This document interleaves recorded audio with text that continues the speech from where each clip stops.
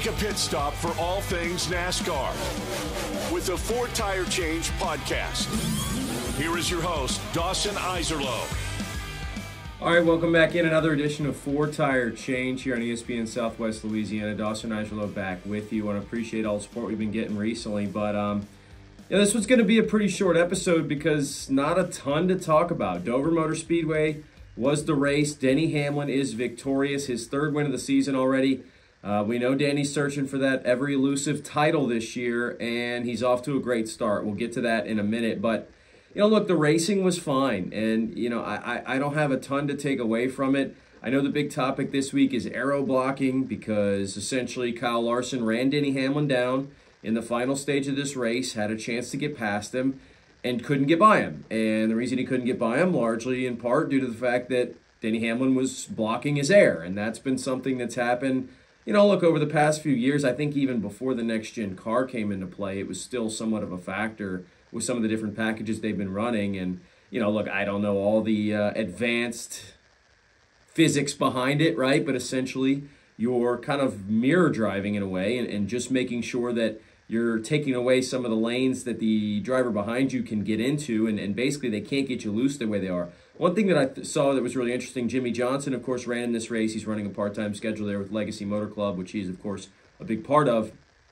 And he talked afterwards. There was a little clip of him basically saying, like, you know, he tried to uh, early on get past the 99 and get up behind him. And he said, essentially, you know, in, in his day and age of the way the cars were, he would have had enough to kind of get him loose, get him out of his groove, and he'd have went by on the inside, right? And he just couldn't get to him. He said he got up close to him, didn't touch him, but got up close where he knows that would have affected him, gotten him loose and nothing happened. It just didn't affect the 99. He was fine, right?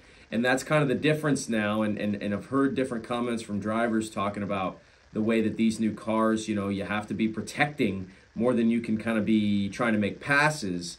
And I don't know if that's a great thing. Look, I, I, I don't know if it's the biggest deal in the world. I think we've had far bigger problems in the past with some of the racing, right? And so I thought the Dover race was, uh, you know, the early stages had a lot of action. I thought later on, for whatever reason, and maybe that's just because eventually we kind of got the faster cars to the front, right? And and and that was something as well. Tire wear wasn't a major factor. I, I know that that feels to me like something that can be improved to make the racing better at some of these tracks. Um, but for whatever reason, right now, other than that Bristol race again that we we had a couple months ago, that just was everything was falling apart tire wise. We haven't had a ton of that, so I, I don't know if that's going to change. And look, some of that's up to Goodyear, some of that's just um, you know, not super predictable. I, I do understand it's not just easy to just change this one thing and have every result go the way you want it to. Sometimes you set off a chain of reactions, right? And you change a tire compound. Well, maybe that does more than just have tire wear. Maybe that impacts a whole other list of different things, you know. So, either way, um, Denny gets the win. And let's start talking about what this means for Denny Hamlin, right? Um, obviously, he is one of the drivers that we knew was going to contend for the title. And we know the story. He doesn't have a championship in his career, but boy, has he been close. He's now got three wins already, and we're not quite to the halfway point in the season yet. And he's got 17 playoff points, leads the way in playoff points. William Byron has 15. He's second. Um, as far as those banked points, remember this isn't playoff standings. This is banked playoff points, the ones that you can carry with you once the regular season ends. Now we know the biggest way to pay out playoff points is to win the regular season title because you get those 15. And as of now, Kyle Larson holds the top spot in the standings, even despite a second place finish to Denny uh, on Sunday.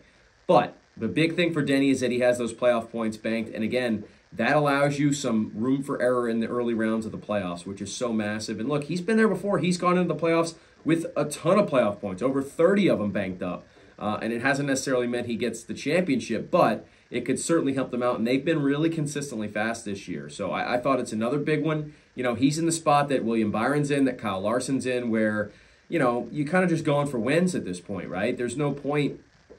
I shouldn't say there's no point running good points finishes because, again, the end of the year points playoffs are going to help you out. But if he's up there, he's got a shot to just kind of, you know, be more aggressive than some of the other guys who are still looking to find their way in on points and, and don't have that win to play around with.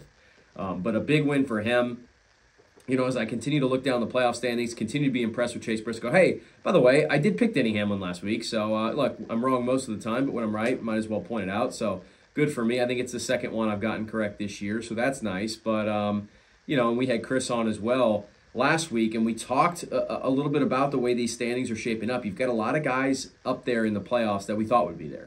Um, couple that aren't, you know, that, that, that maybe we think have a chance. Keselowski's right on the borderline. He's working his way back in. Joey Logano has overcome that early deficit. And now he's looking like he's in a much better position. But, um, you know, not a whole lot of guys we weren't expecting to be in up there in the mix, really, um, outside of maybe Briscoe. So interesting to see. I, I, I don't love that. I wish there was a little bit more parity the way we had the first couple years of the next gen car. It really, obviously, look, this is another Gibbs win, and we've talked about Gibbs and Hendrick. I mean, it's just been dominant. Every non super speedway or non drafting track they've won this year. I'm not a huge fan of that, to be completely honest with you. Um, and even early, we saw, you know, Trackhouse looked like Ross Chastain was back to being pretty fast.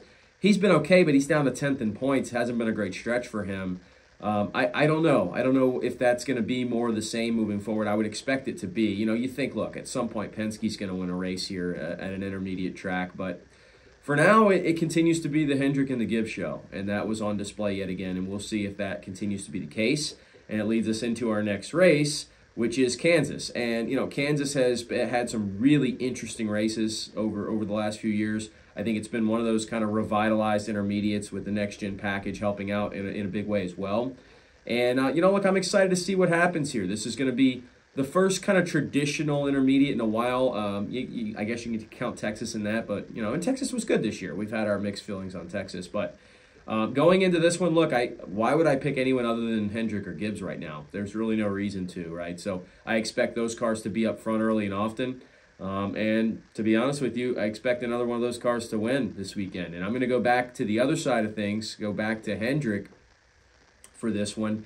And you know, I, have thought about this too with with the way that Bowman's been running. I thought maybe pick Bowman here, maybe get him a shot, but I think William Byron's actually kind of had a stretch here where he hasn't won in a few weeks, and he was so good early on in the year. Maybe Willie B um, back at Kansas, and and I think the kind of the battle at the top between Hendrick and Gibbs continues, and the battle to catch up for everyone else continues as well, right?